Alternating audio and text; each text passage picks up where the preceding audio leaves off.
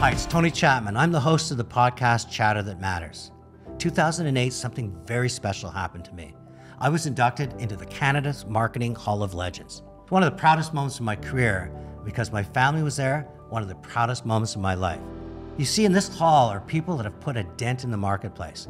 We have visionaries who came up with ideas. We have business builders that not only established their brand in Canada but around the world. Have stewards of brands who found a way to engage the head and heart and hands of the consumer and the media.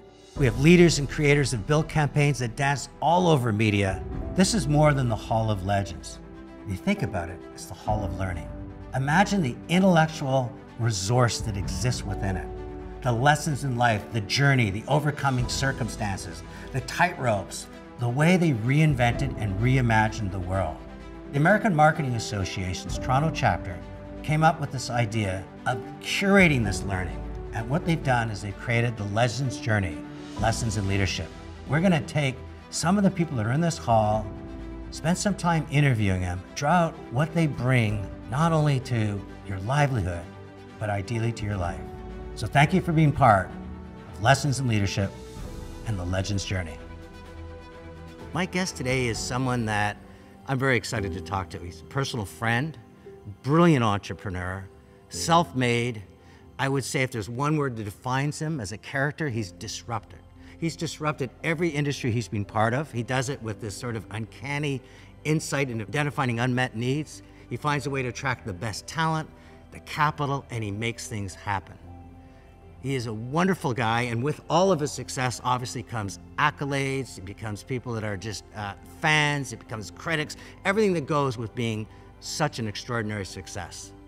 And I believe that his legacy won't be measured by the wealth he's amassed, the businesses that he's created, but what he's giving back to humanity. Please welcome to the Legends Journey, the one and only Miles S. Nadal.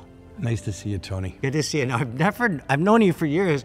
I never knew what the S stood for. What's your middle name? Spencer. Spencer. Now, where'd you get that from? I don't know. My mother figured it out. I mean, there was not, when I grew up, there was not a lot of Myleses, let alone Miles Spencer. So I, I don't know where she came up with She just wanted you to be unique from day one. Spencer Tracy, I don't know. and, t- you know, talk to me about your mom and growing up, because you certainly didn't grow up with a silver spoon. Look, I, I, I think that it's advantageous in life to be disadvantaged and disadvantageous to being advantaged. I didn't have a choice. I grew up in 900 square feet, two bedroom and bathroom apartment. My parents' combined income was $10,000. Um, both my parents were very hardworking people, but I am definitely my mother's son. She was the one who made me believe that anything in life was possible, no matter how humble our beginnings were. She always made me believe that, um, you know, if you dare to dream, anything is possible. And you, you know, we, I've read about this sense that she willed you. Uh, you you've referenced that a few times. And I think it's important for young people to, you know, sometimes we kind of shut out the mentors and we shut out the people around us. But what kind of lessons did she say, you know, you know, it's such a small apartment and just sort of getting by? She, she really did say there's something much bigger out there for you. Well, it's funny because I, I jokingly said to her a few times, you know, mom, I wish we had a few more, few dollars more starting out. And she said, but you wouldn't have as much character. I said, I, am I'm, I'm in a position to give up some character for a few more bucks. But she, she basically instilled in me the belief that, you know, when you're going through hell, keep going, as Winston Churchill said. And that um, the true test of character in life is adversity. And, you know, when I speak to young people, they said, well, have you ever gone through adversity? I said, well, you don't have enough time to hear my stories.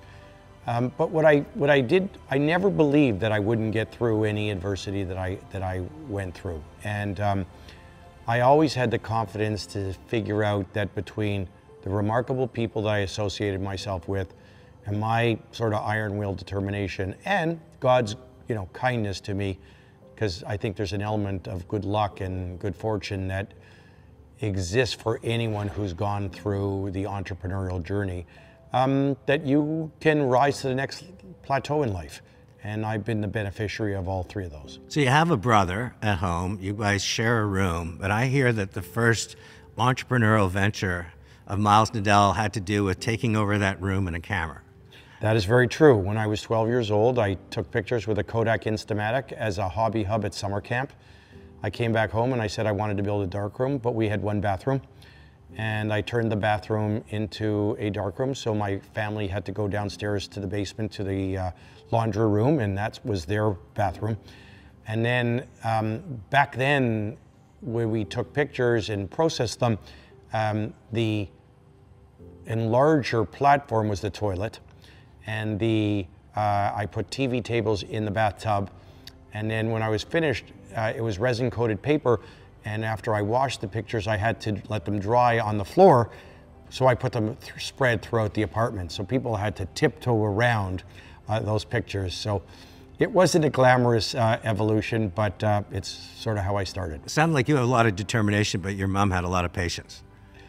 I would say uh, we were both very similar. I'm not sure either of us were very patient, but uh, you know, we sort of believe what Ray Kroc said: persistence and determination alone is omnipotent. That you know, if you you if there's a will, there's a way, and um, there's a great quote. I think Elon Musk is one of the great entrepreneurs of all time, and he said, "Never, never, never, ever give up."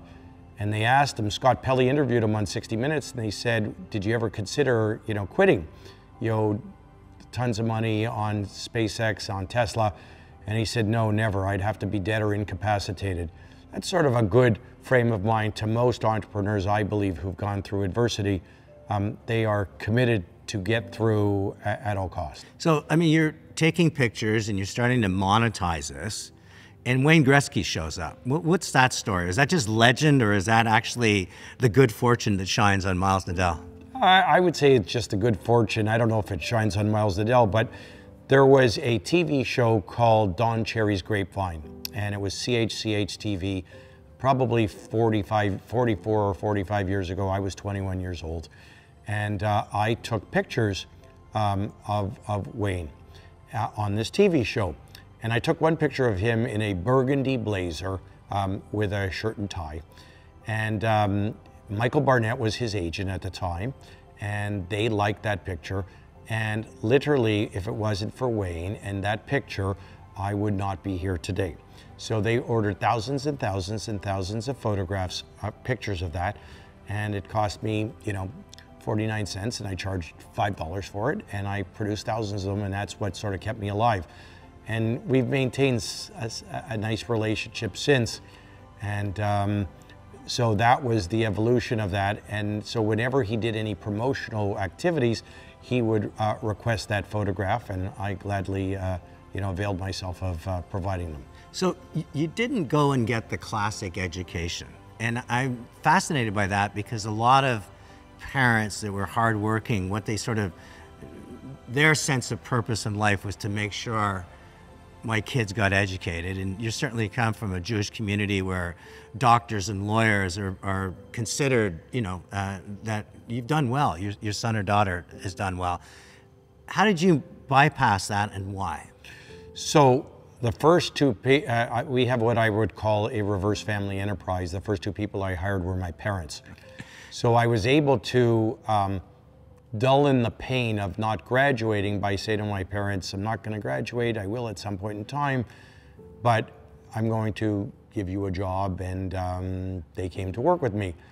I think uh, it was traumatic for me to tell my mother that I was not going to finish school, that I, I really wanted to pursue my entrepreneurial ambitions full time. And I could see on her face that this was not a surprise to her, but I promised her I would get a degree. The question was where, when, and for how much money. And for a million dollars, I got an honorary doctorate degree from Tel Aviv University. So I fulfilled uh, my promise, to, promise her. to her. But I have a funny story for you. Um, I got subsidized to go to summer camp um, when I was eight years old, so call it 57 years ago. Uh, it was 1966. And um, at the grand opening of the JCC, which was named after me because I benefacted the, the, the, Keystone gift for them to redo it because it was falling apart, my mother came. And someone went up to my mom and she said, Mrs. Nadal, you must be so proud of your son Miles. He's been a success in business, depended on the day. Um, and look what he's done for the community. She said, Yes, but you should see his brother. He's a doctor. And and it's funny, but it was really sort of how my mom and, and my dad would, would have thought of the world, which was My son Miles has been, uh, you know, monetarily successful and he's built a business, but but but his brother's a doctor, and that was okay. That's and that you know that's that's great sibling rivalry, anyways. And so you, you know you learn from the school of hard knocks. How did kind of the Gretzky and Barnett and how did that scale? Because you and I probably started the same time in Toronto, and you know you, kind of went from selling pictures to becoming this force. And it, to me, it was overnight. I never, I know it's never always overnight, but sort of share with the audience that that where you suddenly realized that this wasn't just about the gift of taking the right shot at the right time, but it was a gift of saying I can actually create enterprise and drive enterprise. Look, everybody's got a different skill. You're a brilliant creative person. I I was a business guy. I happen to you know, make a living as a photographer. And I think of myself as creative on a different kind of canvas, as much on a balance sheet and business and collections. But I was never a brilliant photographer. I always was looking for how do I create an enterprise out of this creative skill. And I was a professional plagiarizer and synth synthesizer. So I would talk to all of my friends' parents who were in business. And I was like Curious George, I was the human question machine. I would spend as much time talking to my friends' parents and asking them questions about how they became successful as I did spending time with my friends and going out, because I, I, was really curious. How did people create enterprises? How did they create wealth? And from the humble beginnings I started with, that was really my passion. How do I create something that has dynastic value long term? And from where I started, it was a, a, a big leap of faith you know, but I, I basically said, okay, you know, it's, it's a marathon in life, not a, not a sprint. Uh, let's go one step at a time. And uh, I have, you know, that com- obsessive compulsive personality. Like, why would you want one if you could have five? Why would you want five if you could have 20? And why would you want 20 if you could have 50? And um, I believe that the only limitations to success in life were about the ability to dream. And so I was always um, very acutely able with arithmetic. I was very able with numbers. And uh, I met interesting people along the journey. And in, in 1986, I met a guy named Mel Stein. I was a photographer and I built a little marketing business. Um, and he had a business called AHA Automotive Technologies that made limousines. I was being driven around in a Mercedes Benz 190 uh, E, which was a sort of shorter distance from where you and I are. And I wanted to have the feeling of being in a limousine. Uh, in 1986, I was 28 years old. And people sort of thought I was out of my mind, which may have been the case. And he said he did a reverse takeover of a public mining shell, and that's how we went public. And I was like, why can't I do that? And at the time, there was a guy named Martin Sorrell. And Martin uh, was building a business called WPP, most people don't know this, it stood for wire and plastic products. It was a reverse takeover. So I said, oh, I think I could do that in the advertising and marketing business. There were no public companies in advertising in Canada. Uh, there used to be a firm called Cockfield Brown decades and decades ago. And I said, I think I can build this, and but I want to build it outside of Canada, not just within Canada, and I want to build it, it as a North American platform. And we started. So we went public on Friday, October the 16th of 87, the day before Black Monday. We got listed in the middle of meltdown on Friday, October the 23rd, which was the first day in the history of the Toronto Stock Exchange they closed early. We lost 85% of our value in the first trading day, but other than that, life was good. And that's sort of been the story of my do, journey. Do you, I mean, there's a couple of things I want to unpack on that. First of all, when you look back at the times where you're barely on that tightrope, I mean, the wind's blowing. It's Black Friday. Things are out of control. Out of control. Do you look back at that in your career and say that's some of the finest moments because I had to figure my way through, or do you look back and go, if I could do it all over again, I would never want to go through that? So there, there are three characteristics to most entrepreneurial success. Um, there's aggressiveness, there's timing, and then there's skill. If you have the first two, you got the good fortune of good timing and you're very aggressive, you don't need the skill. It's when you are very aggressive. So I always say wealth is created by being bold early and right, but bold and early doesn't make up for being wrong. There have been plenty of times where we intuitively thought, I thought that we had the right strategy. And we thought timing was good. And then all of a sudden there was some black swan event that happened, and we had to navigate through those choppy waters and through those, uh, you know, winds that are in front of us um, to, to navigate to terra firma. But look, when you start with nothing and you have big ambitions, you go through adversity. That's just the nature of timing. You know, uh, Warren Buffett talks about he's the he's the greatest investor of all time. So Buffett's compounded his net worth tenfold over the period of when he was 65 to 90. He compounded his net worth at about 9.6%. But during that period of time, Berkshire Hathaway stock went down 50% or more three times. So the reality is nobody's got a straight line to success. Most people go through ups and downs. And really the true test of uh, entrepreneurial ability is the ability to get to terra firma in the face of that adversity, but to also learn from it. Uh, I would say that my tolerance of risk is different today than it was sort of when I started with nothing. But on the other hand, I still have ambitions. I just, there's a great line from a friend of mine named J. Ira Harris. He passed away, and he said, Being richer is not as good as being poorer is bad. As good as it feels to make money, it really sucks to lose. So, uh, hopefully, as you get older, if you're a smart entrepreneur, you decide about managing risk very differently because what you don't want to do is go backwards and start de novo again. And not all entrepreneurs understand that. They think the same playbook they started with at the beginning is the playbook that they will die by. And that's not my belief. You know, when I was in Young Presidents Organization, they talked about, you know, there was three kinds. There were the entrepreneurs, the hired guns, and then the people that inherited wealth and, and had that responsibility. And all come with a different sense of uh, a burden and skill set. You always struck me as someone that kind of had the hired gun mentality – in a sense you weren't I'm not saying you weren't emotionally vested in the business, but you could stand back almost that you were hired to run the business, but at the same time had that incredible tenacity as an entrepreneur, the sense of this impatience to see things through. Is that a fair assessment that you sort of had that, that both sides working for you, as opposed to, to me, an entrepreneur is constantly sprinting and maybe a CEO is a marathon? You, to me, you were, you're a bit of both. I think of myself as someone who has a good left brain and a good right brain. I think I am highly analytical, very numerate, but I'm also creative. And I understand the idea that says focus all of your efforts to figure out the solution. Use other people's advice and counsel and wisdom and guidance, but also use your own gut instinct. And I was pretty good at figuring out where was the go-to path that had a high probability of leading to a successful outcome. I also am perpetually curious.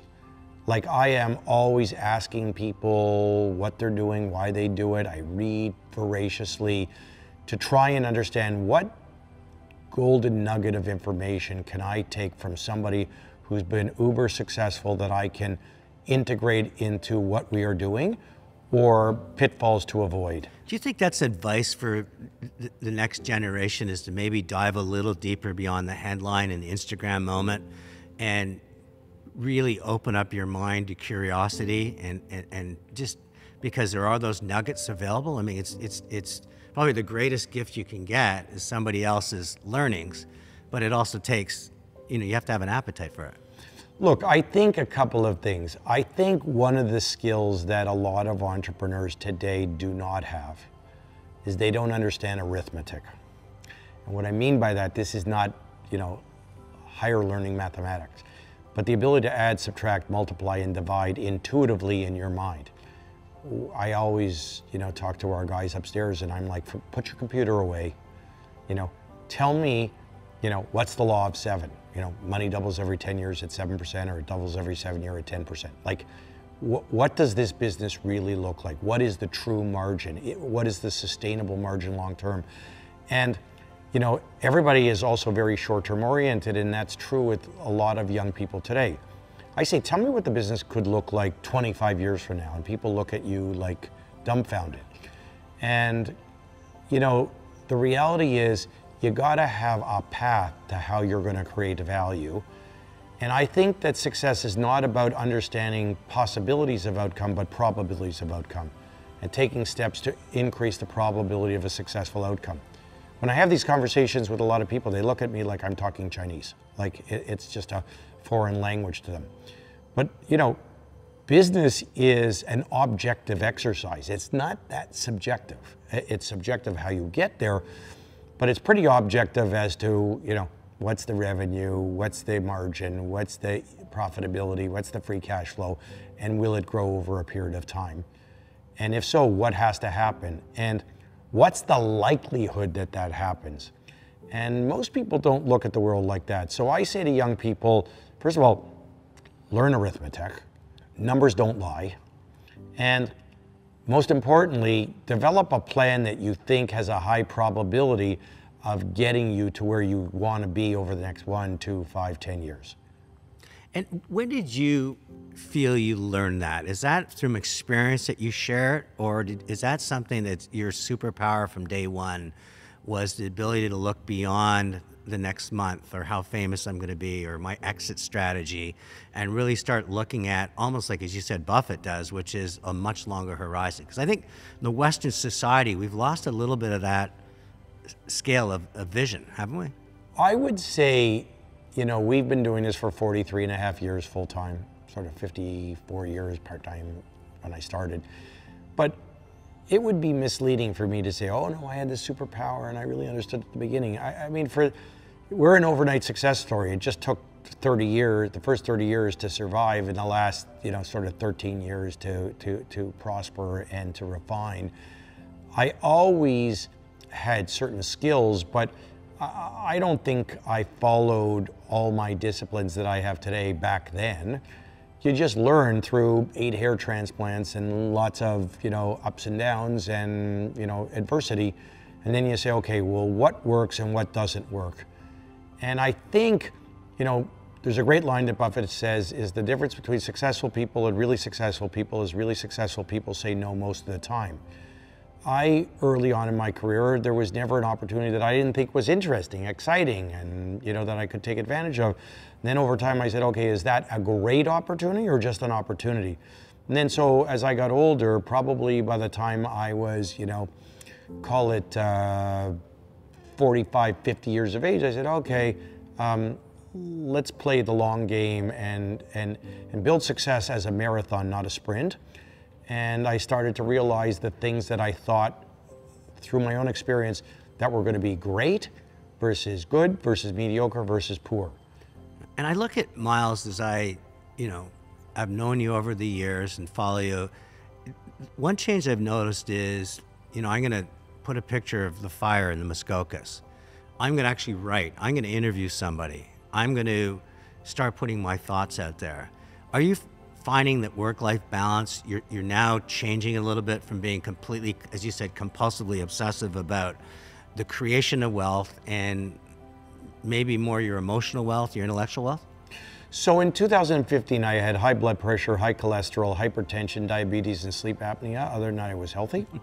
I have a daughter in recovery. At the same time, I decided that affluent and dead was not a good combination, so I've lost 87 pounds since then and I have focused a lot on my family. My daughters, uh, I have two daughters, two stepdaughters, and my wife was very helpful to me about saying, you know, God's given you a reprieve and given Samantha a reprieve, and you should use this as an opportunity to redefine what your future looks like.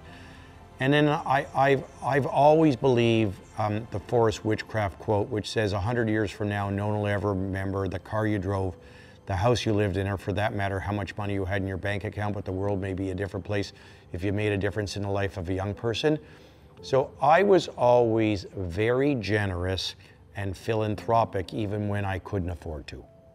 Yeah. I would make pledges and my CFO would say, we can't afford that. And I said, don't worry, I'll, I'll, I'll figure out how to get there.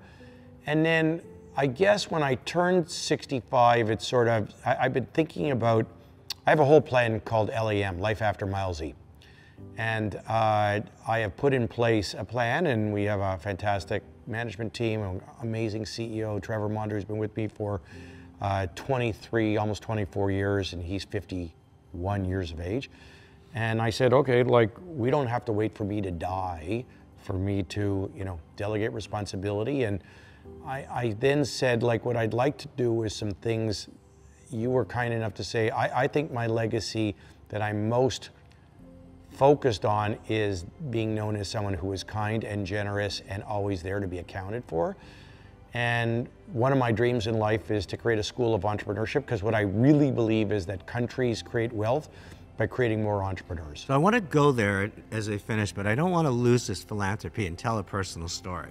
I knocked on your door one day and and you know, I knew you and I had which was great and I said, you know, I, I, Regent Park needs you and it was an inner city school. And at the time, I would probably say most of your philanthropy was in Israel, a lot of the stuff you did in Jewish Community Center.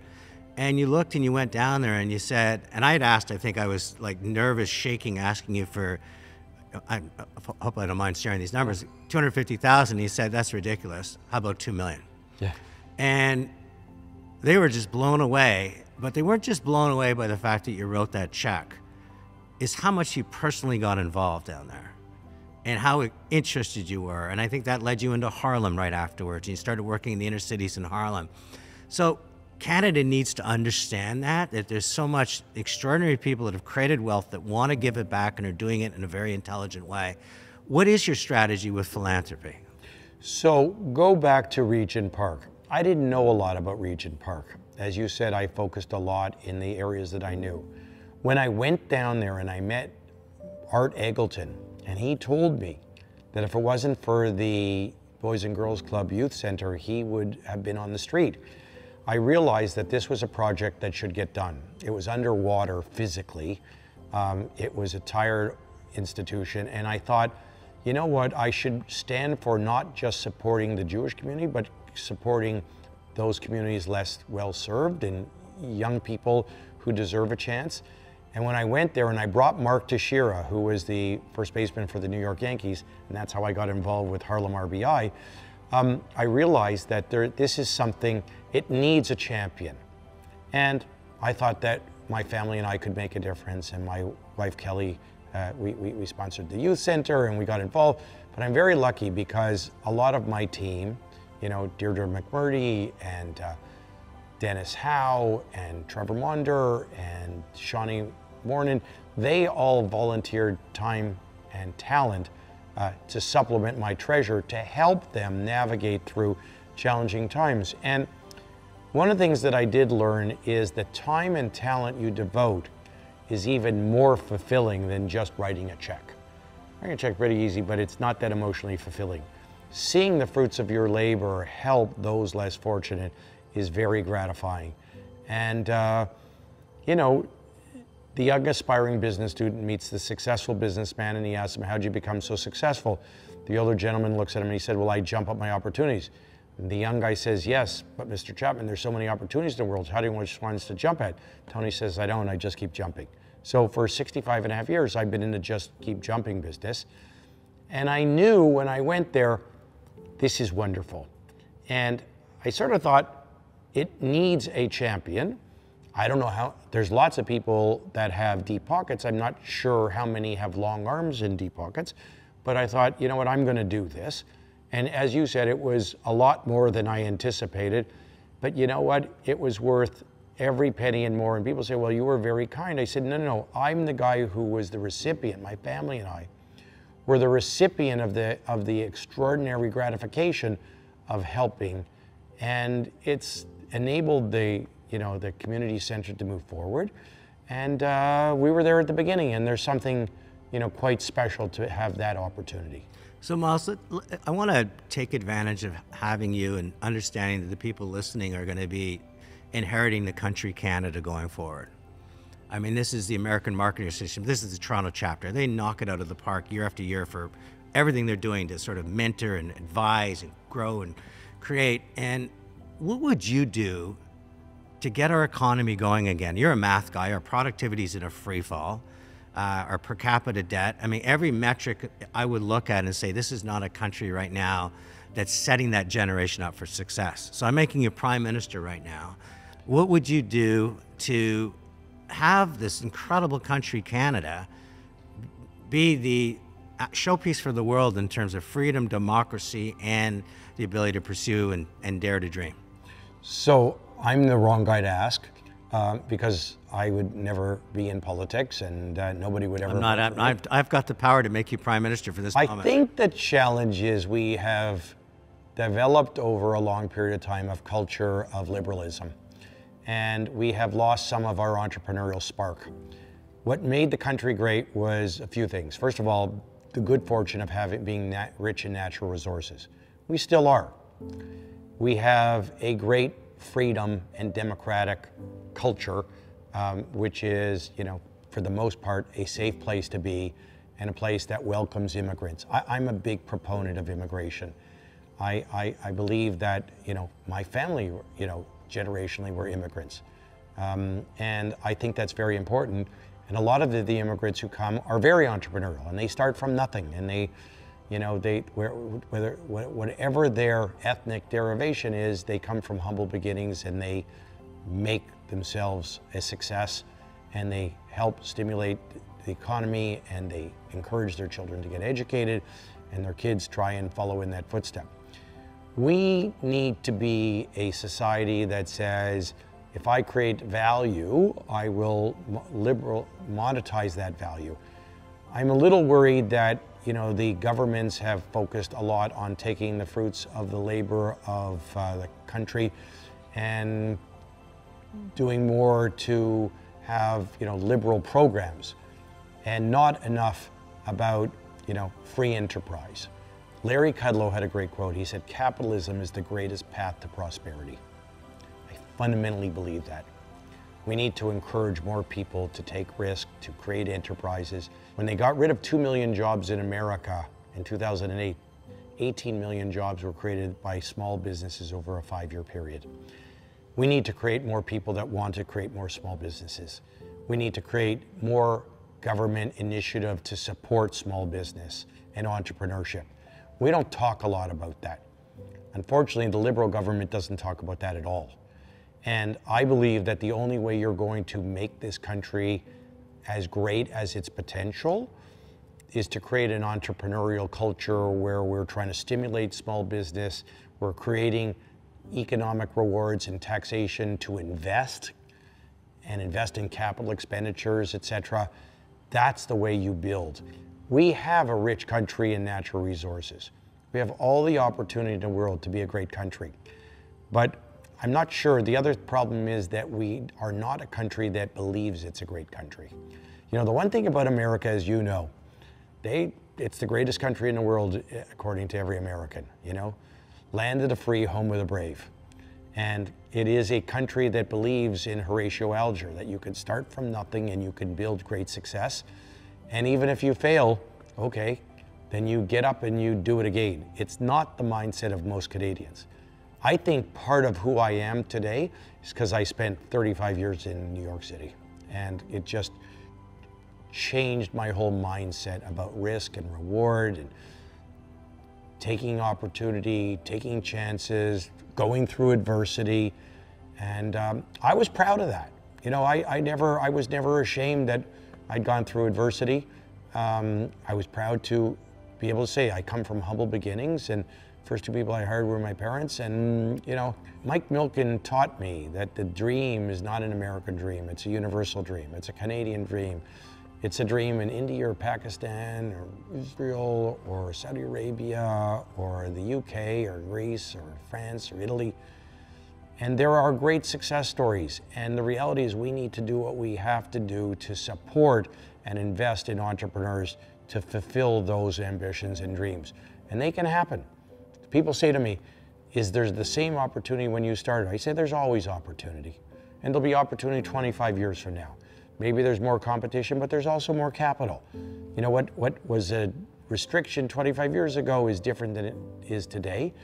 But there'll always be opportunities. There will always be another Elon Musk. There'll be always another Mark Zuckerberg. There'll always be, you know, those kind of people who come from humble beginnings and just make it happen. And there's lots of, you know, I love meeting people who have six hot dog stands. I say, how'd you start? How'd you get your first one? How'd you get your second one? You know, if you look at the real estate uh, industry in Toronto, you know, a lot of it has been populated by either immigrant Jewish Holocaust survivors or immigrant Italians. And they came from zero and they didn't speak the language necessarily and they had no capital and no contacts and no resources. They went one house at a time and, you know, fast forward 50 years later, they've got, you know, huge dynastic wealth that came from just putting one foot in front of each other every day. And, and your final thoughts for young people listening and saying, you know, if they had a chance to ride down an elevator with you, and they just said, Miles, you know, you've, you've met some of the best people out there. You're considered one of the great ones. And what, what, what can you share with me on this elevator ride that I can put in my knapsack for the rest of my life? Well, two things. First of all, I don't think I'm one of the great ones.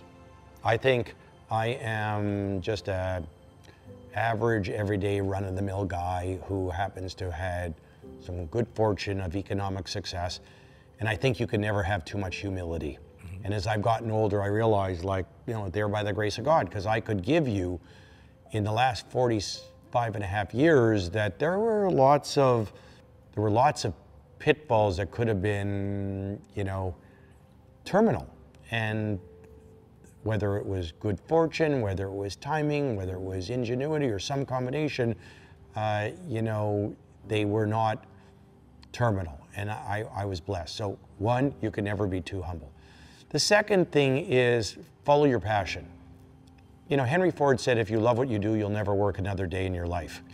When somebody says to me, you know, my daughter is a chef, it's not that lucrative to be a chef. I say, it's fantastic. You should be so proud of her. And they go, why do you say that? I say, because she's doing it because she loves it. And nobody ever became a chef just for the money. And, and if she loves it, it's fantastic. I met somebody yesterday who was amazing. And she's in retail. And uh, she used to work for Indigo. And she was a remarkable person. And she has a math degree and a business degree. But she's a buyer at a high-end luxury brand called Brunello Cucinelli. And I had this 45 minute conversation with her and she said, my parents beat up on me all the time. It's like, with this education, why are you doing that? She said, I love it. And if you love that, it's, it's fantastic. You know, we have a, I have a stepdaughter who's in social work. And I say, it's wonderful. If you're gonna make the world a better place, it's really tremendous.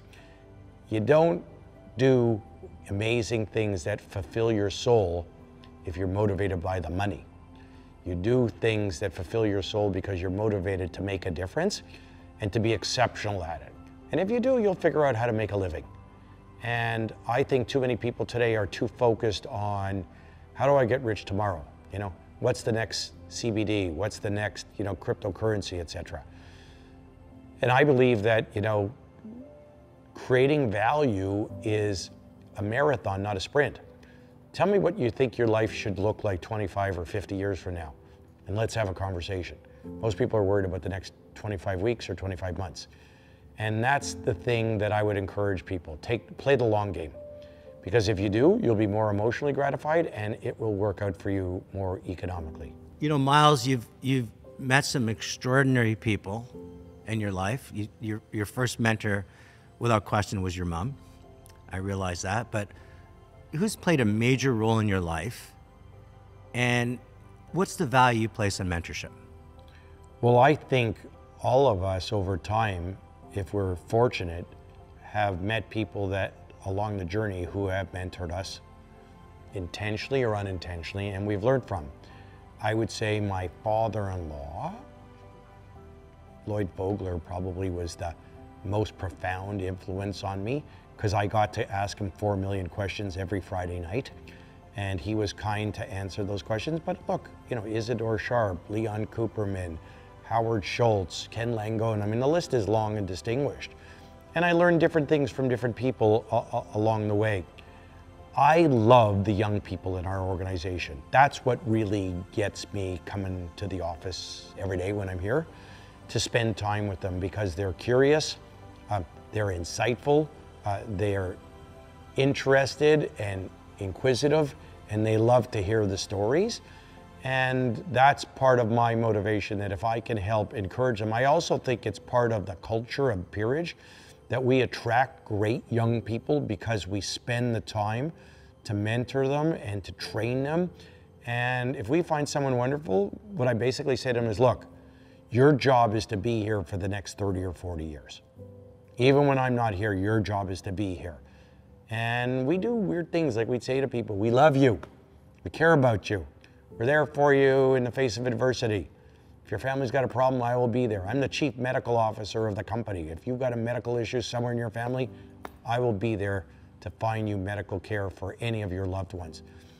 I think mentorship is the difference between a mediocre culture and a great culture.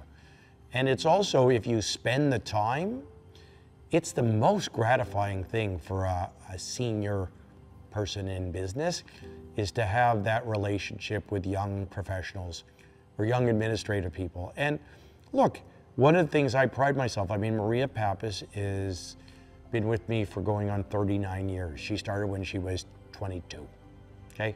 It's one of the greatest stories that I can tell is, look, we're like the Roach Motel. You can come in, but you can never leave. You know, Trevor, 27 years. Walter Campbell just retired after 35 years. You know, the list is very long, and it's a badge of honor for me that people have come on this journey, and through that, they've gotten educated, they've gotten bought their first home, they had a family, they've created independent wealth, they've got the wherewithal to retire. I think that's something that I take great pride in. And attracting great young people who are curious and ambitious and intelligent, uh, if you invest in them, I think it pays huge dividends dynastically. You know, Miles, I always end my shows and my takeaways, my three takeaways. The first one is uh, one of my favorite authors is Mordecai Richler, St. Urbain's Horseman, Apprenticeship of Duddy Kravitz. You remind me a lot of Duddy Kravitz in the sense of that curious mind. He was always asking the elders. He was never couldn't his his grandfather's lesson, his land. I mean, he, he was a kid that said, "I don't know it all, but I want to know it all." And I and and the second thing is a is a great lesson in life for everybody is is your left brain and right brain, but know your numbers, know your math, understand where you're going to go. Don't just get caught up on your exit strategy. But the third one is a combination of the two: is the sense to follow your passion, but keep jumping. And I think what I taking away from this, because I know that as much as you love the fires in Muskoka and you're becoming a little bit more thoughtful in terms of what you're writing and such, you're jumping as hard as you did 45 or 50 years ago. And for that, I'm just uh, honored that you were part of the uh, Legends Journey, Lessons in Leadership, and, uh, and this mashup with Chatter That Matters. So thank you, my friend. My pleasure. I'll give you two things in the end. Okay. One is if you said to me, What do you want your legacy to be? I would like at my funeral that people say he was kind. You know, Tom Hanks said there are three keys to happiness kindness, kindness, and kindness. So if you said, Is there anything more important than your success? I say, Yes, being, being thought of as a kind person, a generous person. So Mark Teixeira gave me a great line. He said, I want to be known as a good family guy, good community, community guy, and oh, by the way, I played baseball. I'd like to be known as a good, a loving family guy, a devoted and generous, uh, generous and devoted community guy. And oh, by the way, he was in business. But most importantly, I want everybody who's ever interacted with me would say, he never said no to me about any charity. He never said no about helping out, being able to, you know, there are four reasons why people call me. One, could you invest in my business? Two, how about my fund? Three, donate to my charity. And four, hire my kid. Uh, nobody says, hi, how are you? And, but I think it's, there's a great, in the, in, there's a great thing in the Bible that said, to those who much is given, much is expected. I try to do my best to show up every day. And the role model that I want to be for my kid is always being there to help those less fortunate. And I would say to you that, you know, when I look at long term, I would hope that I've left the world a little bit better shape than when I entered it. And if my family and I can do some of that, uh, we would have a life well lived. I am grateful for the foundation of where I started. Unlike most people, I never lose sight of where I came from. I'm proud to have come from humble roots. I came from Toronto. The Toronto chapter of the American Market Association is where I started. I started from scratch, and it's my pleasure and privilege to do anything in any modest way to recognize and show my appreciation for the foundation I got from the AMA in Toronto. When I got that recognition in 2012, it meant a lot to me. I was traveling most of the time. I wasn't going to miss that. I brought my whole family. I said, "This is where we start." Was at the distillery? I was there. Yes. It was uh, it was a beautiful night. Thank you. It's an honor and privilege to be here, and thank you for taking the time to uh, spend with me. And I hope we do more of it in the future. We certainly will. Thank you. It's Tony Chapman. Thanks for listening, and let's chat soon.